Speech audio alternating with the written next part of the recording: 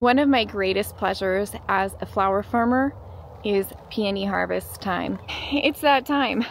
So today I'm going to be taking you along to do some peony harvesting. I'm going to give you some tips and tricks from a flower farmer on how to grow peonies, how to cut peonies, and how to extend your peony season by two months. Let's go. We've been harvesting peonies for about a week now. Our weather has just gotten really hot and so it's been a slam to get things harvested because if we wait when the temperatures are into the 90s like they have been, then all the peonies blow open. So it's been a bit of a rush, but today it's a little cooler, a little overcast and windy, and so I can take a little more time and show you around our peony harvest here at the farm. This is year four now of us having peony roots in the ground, and usually it's recommended that we wait until year four to start harvesting peonies. Now, that being said, I have harvested a few in the past years, but not many, really mostly just to check colors. Otherwise, we've mostly been deadheading these peonies, and that's because it helps the peony roots really put energy down and into the roots. It helps them become more drought tolerant. It helps them be more pest resistant if they can put more energy into the roots instead of into the flowers. When we harvest, we just tend to cut off a lot of the foliage, which can weaken them a little bit and set them back. So even though it's been really hard, we've waited until year four to really start harvesting. But today I'm gonna take you around, show you a couple things about harvesting. I'm also going to give you a trick on how to make your peonies last for a couple of months. And I'm gonna show you my favorite peony. My top secret, most favorite peony ever, right? Yes. Yes. All right, let's go cut some peonies. Remember the 3D ones are not flat and 2D are flat. So draw a line. 2D. okay, draw that one. Okay, before I get started with the peonies, I thought we would go check on the zinnias we seeded in our last video and see how those are doing. It will help protect them from bunnies. They're still vulnerable to the bunnies at this stage. So we'll just leave these, leave this cover on for now. And also before I start, I've got these beautiful solidasters here. These are a hybrid between an aster and solidago. So they put up this really pretty white yellow flower and they were really beautiful last year. Also, they worked really well for flower crowns. Um, and the bees loved them, one of our favorite things of the bees in the field, but they got floppy. And you can see they're just starting to do it now. So they're growing and then they get so tall, they just kind of flop so I'm gonna net these up too before I get started with harvesting the peonies. I'm just gonna use some metal stakes and some hemp twine to tie these up.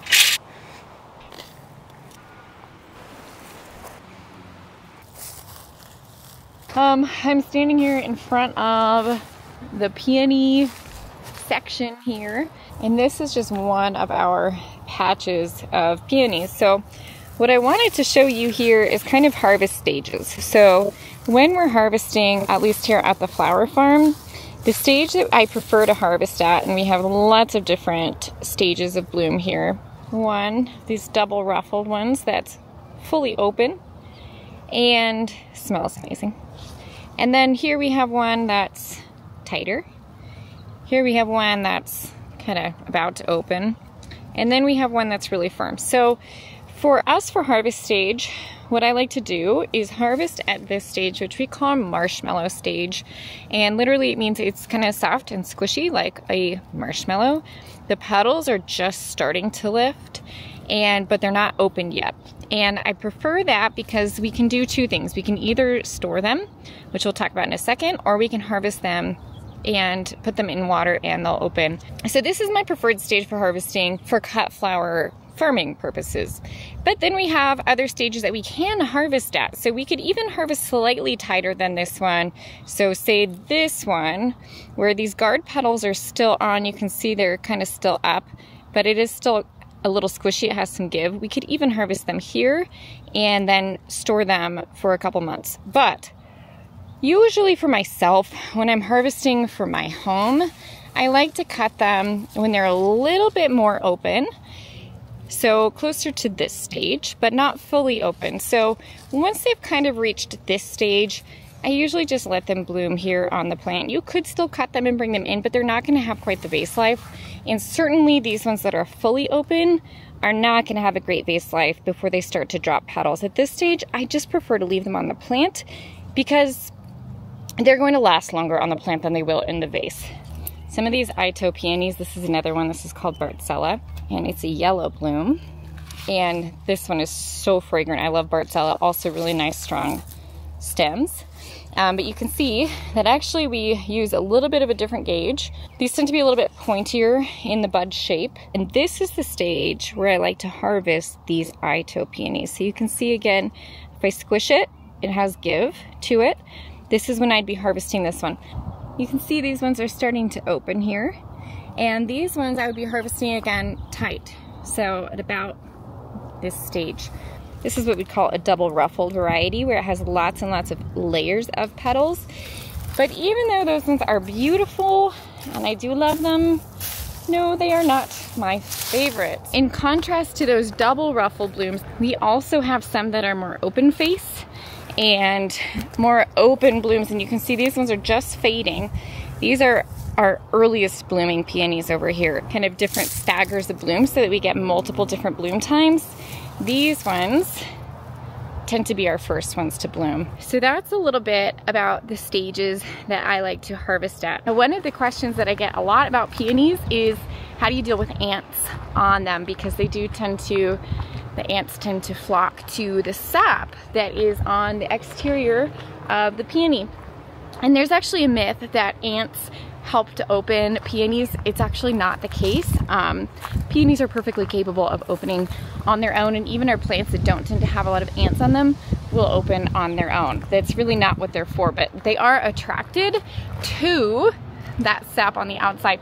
So if you want to harvest them and bring them in, what you can do is just turn them upside down. I usually just cut them, turn them upside down and give them a shake. I'm going to quickly show you how I cut my peonies and how many I cut from each plant for best plant health I'm going to go ahead and cut this one. And you can see, it depends on what you're cutting for. Now, in general, you don't want to cut off too much. No more than one third of the blooms in any given year or else you'll weaken your plant. So one third of the blooms, and then if you really want your plant to be putting more energy into its roots, you could even disbud the other ones. The first three years, especially, that you want the plant to be really putting its energy down into the roots, you, this is painful, but you'd want to do it when the plants are small. You'd want to come along and take off that bud because that's going to keep it from blooming and keep it from going to seed. It can put more energy down into those roots. But for this one, now some of it comes down to what you're using it for. If you're going to use it for a bouquet, you'd want it to be a little bit taller. If you're using it in a short vase, then you only have to cut off a few sets of leaves. You know, you don't want to cut off more foliage than you have to. But if it's for a bouquet, I'm going to cut right above a leaf. And then best to remove most of the foliage. What we're left with is this. Now, one last thing that I wanted to mention is that if you really want to get large peony blooms, and I'm really bad about doing this, but you might consider doing it, is that when they are starting to bud, so about this stage, maybe even a little bit earlier, this one is covered with cottonwood, stick to the sap. You'd want to disbud these little side shoots. So you see we have one main stem, and then we have these side shoots. So if you're in a hurry, you would just go ahead and clip these off so that now this stem is putting all of its energy into this one bloom. This can be a good idea if you're using these for cut flowers. So say you're growing them for a wedding, then cutting off these little side shoots is a good idea, especially when they're small. Ideally, you're doing it much before this stage. So when they're closer to this stage, just starting to visibly bud up, that's when you'd be wanting to disbud those side shoots. And they don't always have side shoots. It depends on the variety. Those Itoh tend to not have side shoots. And you can see that now what they're actually doing is they're starting to go to seed. And so typically at this stage, I will be removing these because I don't want the peonies wasting energy on putting out seeds. This takes some work for them. And so I'd rather than be focusing on foliage and root development. Now, if you are going to stake and support your peonies, one good way to do it is using a peony ring. So this is really helpful if you're letting your peonies bloom on the plant. Now, here at the farm, we typically harvest before we get to this stage. We're really only letting them all bloom because we're doing a lot of photography for our upcoming book this spring. But otherwise, we usually don't let them bloom, so I usually don't bother staking them. But if you're gonna let them bloom on the bush, it can be helpful to support them so they don't flop over mid-season. Peonies do have really nice, beautiful foliage at the end of the season, and you can really get some nice colors from those peony foliages, especially if they're not laying down on the ground. Another way that you can support your peonies if you don't want to buy a bunch of peony rings is you can just use some stakes put one stake next to the peony and I'll show you this here. So this is another way you can support them. So these ones were starting to flop. So what we did is we hammered one T-post into the ground. We took some twine down here at the base and we just looped twine all the way around and to the stake. Now if you're gonna do this, make sure you put that stake far enough out from the peony so you don't puncture it and damage the peony root. And we do do this sometimes, especially if we're getting a really late spring snow because often what happens with those late spring snows is they're really, really heavy and they can actually split our peonies out and create a lot of problems with the peonies. And so if we know we're getting a spring snow, I'll often stake them this way. Just because we have literally hundreds, this is an easier way to do it than buying all those peony rings. These are called Itoh peonies and you can see how nice and strong these plants are. So these don't need support. This is really helpful. If you're someone who likes to let your peonies bloom on the plant and you're not cutting them and bringing them in, it can be really nice to not have to support them because it's just one less thing to have to do. And they have these really nice strong stems. Let's go look at another example of this and then I'll show you my favorite peony. The other thing I wanted to show you is kind of some of the things that we have growing with our peonies. And we used to have landscape fabric, and in fact, we're still getting rid of some of our landscape fabric. Uh, we have one more section that we've just been pulling out today. And in these areas, what we've actually done is we've done some native grass in the walkways. So we have mulched around our peonies, which works here in my climate. We're pretty dry. Um, if you're in a wetter climate, then you could always pull your mulch back a little bit from your peonies. Really the bigger issue with peonies is that we don't want to keep them too warm in the winter. So too thick of a mulch layer can keep them too warm in the winter and then they often won't bloom well in the spring. And we do have them interplanted here with some creeping phlox and just to kind of serve as a little bit of a ground cover in between and give a little bit of interest here and then in the walkways, we've done a mix of blue grama and buffalo grass. But we're trying to get some native grass going here in this walkway just to give a little bit more biodiversity going here. And we also have, if behind me here, we also have a lot of other things planted. So we've got, uh, this is a native dogwood here. We have some yarrow here, some solidago goldenrods, more yarrow, some sedum. So even though it looks like it's a lot of peonies, we also have some columbine growing in here, but really what would be nice would be to plant something that would bloom a little bit later than the peonies, just because the peonies bloom so early and then there's not much else going on here. But for the sake of being a flower farm and the fact that we do sell a lot of our flowers, having things planted in rows is helpful when it comes to harvesting. It's just much faster. And the other place where it is helpful is in cover cropping. So you guys know I do cover cropping to do soil amending.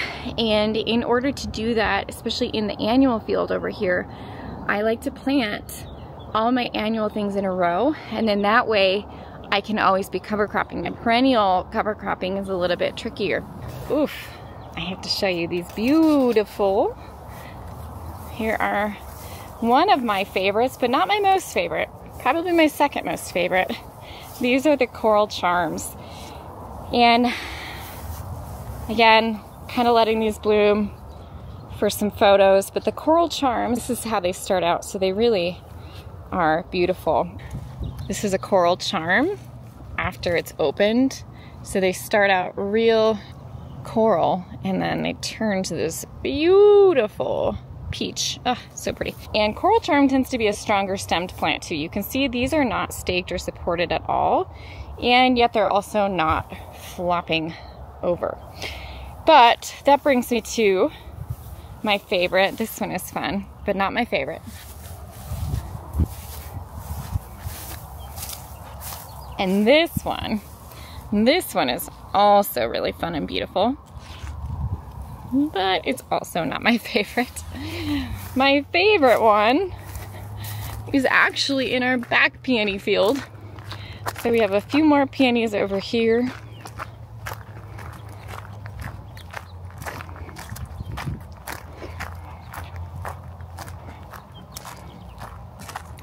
And this is where we've been kind of removing a lot of our landscape fabric, as I mentioned. So my favorite ones are over here. Now here we just have mulched pathways. This is definitely easier to maintain. Uh, here it is. This is a peony called Canary Brilliance. And I adore this beautiful peony. Now look at the color that it starts out. It's peachy it's dusty. It's that perfect kind of antique color. And then as they open, they turn this creamy yellow. So you can see the three stages together here. This is when they start to open, more open, and then fully open. So a really nice creamy color if you're more into sort of neutral tones. Now, if you want to be planting peonies, the best time to do it is going to be in the fall and planting from bare root. If you're thinking about planting some peonies here in spring, heading into summer, you can do it if you have a potted peony plant. So you can buy a peony whole from the nursery and plant the whole pot in the ground. Just make sure that you're keeping it well watered heading into the warm summer months. So that first season, it's gonna need some extra water to really establish. Now you do typically have to be in colder zones in order to grow peonies. However, the Itoh peonies tend to be a little bit more hardy of warm climates. And so if you are in a warm climate and you want to try growing peonies, there are some varieties that might work for you. But for the most part, they tend to prefer colder winters. They are fairly drought tolerant, but in my experience, they do like to have some water in order to bloom their best. So fertilizing, especially in these perennial areas where it's much harder to cover crop because terminating a cover crop in and amongst perennial plants can be really tricky. I prefer to amend in here with things like aged sheep manure from the boys over there. Hey boys! So usually after they've bloomed is when I come through and I fertilize around the base of each plant and I just mix it in lightly to the surface with my fingers. And that is actually why I started removing a lot of this landscape fabric. I talked a lot about the plastic issues and the landscape fabric. Now when we started out with flower farming, I had done a lot of research and everyone had told me to use this plastic. You guys have heard me talk about this landscape fabric before. I used it for the first year, two seasons, almost two seasons. And since I've just been removing it all. And there's a couple reasons for that. One is the microplastics issue. So as this ages, it shreds off and there's also little both macroplastics, microplastics, nanoplastics that end up in our soil from this. And the shocking part of landscape fabric is that it's accepted in organic production. Even though we know that it's putting microplastics into the soil and they're ending up in our food, it's still allowed in organic production. Although they're discussing that, they might be changing that here shortly. So we'll see, fingers crossed. But the other reason is because I can't really do much soil amending. Um, I find I have much better soil where we've had mulch sitting. That soil has free access to organic matter, where especially around the perennials, this is like a constant barrier to organic matter around the soil. So I can't get in easily and amend the soil. And let me show you what it looks like under here. Now we looked at the peonies over there where we haven't had landscape fabric for a while. Those peonies are all healthy. I have no disease. This back section of peonies where we've had landscape fabric, we have some diseases happening here. So some looks like maybe botrytis. Um, and I really feel like a lot of that has to do with the soil health. Um, there's actually a lot of research now that's showing that soil health is really important when it comes to funguses, which makes total sense because actually, if your soil is healthy and has a lot of good bacteria, the fungus will prefer to consume that bacteria instead of attacking your plant. So, interesting stuff there. But look at the soil. Look at the soil where the landscape fabric has been. Absolutely terrible. I mean, cracking, dry. This is horrible. This is so embarrassing to me to have soil like this. So anyway, this was the last section that I had to do. I just kind of been putting it off. Um, I went ahead and took this all out today. And now we're gonna start the process of trying to fix this soil and get these diseases under control here. Speaking of diseases, um, one of the ones that peonies tend to get is powdery mildew. You'll usually see that the leaves tend to get that little bit of powdery, mildewy, white sheen, white cast to them toward the end of the season. It's totally normal. Peonies are just a little bit prone to that. The more space you can give them around each plant, the better. Also interplanting with other things is always gonna help too. And then the other one is this botrytis. So you can see that we have some fungus going here and actually what I need to do is come through and remove all of this diseased leaf and vegetation and discard it. Make sure you don't compost this. So I need to come through and clear everything out, cut off all these diseased leaves as much as possible to minimize the spread. And at the end of the season, you should also be cutting your peonies all the way down to the ground. Now that's not necessarily true of tree peonies. So if you're growing tree peonies, they don't always get cut all the way down to the ground. So just be mindful if you're growing an Itoh or an intersectional, usually those get cut all the way down to the ground in the fall and then they'll regrow in the spring. So now that we've cut this one, I'm gonna tell you how you can extend your bloom time in the vase for up to two months. So there are different schools of thought on this process. There is one that says you should dry store these. Dry store is just what it sounds like. So I've cut this I haven't put the stem into water. I'm gonna wrap it up in paper and put it into a fridge. Now you don't wanna put it in a fridge that is prone to freezing. Um, you don't want these to freeze. But you can put it in a fridge that stays, you know, fridge temperature. 37 is good, 36, 37. Now I'm gonna show you how to do this dry storage. I'm gonna give you the caveat that I actually don't prefer to store my peonies dry. I would rather store them in water. I just find they do better. They don't ever dehydrate like these ones do, but they take up more room in your fridge if you're storing them in, you know, a vase or a glass than if they're dry wrapped. So let me show you how I do that. Got my piece of paper here. I'm gonna go ahead and lay my peony. And actually you'd probably wanna remove as much foliage as possible. I'm going to fold it in and protect the bud first. You don't want that part to dry out. And you could use wax paper for this as well, which would probably help a little bit more with moisture loss than just plain paper. what we're trying to do is keep it from losing moisture, but also not let it mold. All right, then I'm gonna fold it over again. And roll it up. And now I have my peony ready to put in the fridge. You could wrap up several, so I wouldn't do more than five of them together like this just because with that much moisture in here, you could lead to things like mold. And if you have a lot in here, so say you harvested all of your peonies and wrap them all together, it wouldn't work that well. I wouldn't do more than five in one bunch in a wrapped paper like this. Keep it in the fridge. When you're ready to take it out and have it bloom, give it a fresh cut on the end and put it into water at room temperature they will open for you if you've harvested at the right stage. So remember, don't harvest too tight. You don't want them to be firm like a marble. You want them to be just a little bit soft and have a little bit of give like a marshmallow. But that being said, I have a cooler that's a walk-in and I really prefer to store them in water. I just find they do better.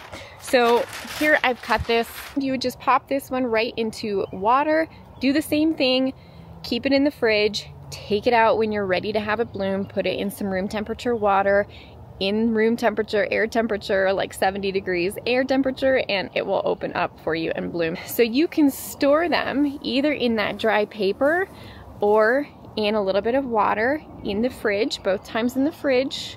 Make sure it doesn't freeze. Don't keep it toward the back. If you have a fridge like mine where it freezes at the back. And you can store them that way for almost eight weeks. So we could be looking at taking these out in August and having peonies. All right guys, that's it for me here. I'm gonna go ahead and get harvesting and get some things picked here. just so amazing. All right guys, I hope you enjoyed this video. And if you did, remember to like and subscribe. Let me know if you want to see a farm tour, if you're interested in hearing something else from me, and I hope you guys will tune in next time. We'll see you around here at the farm.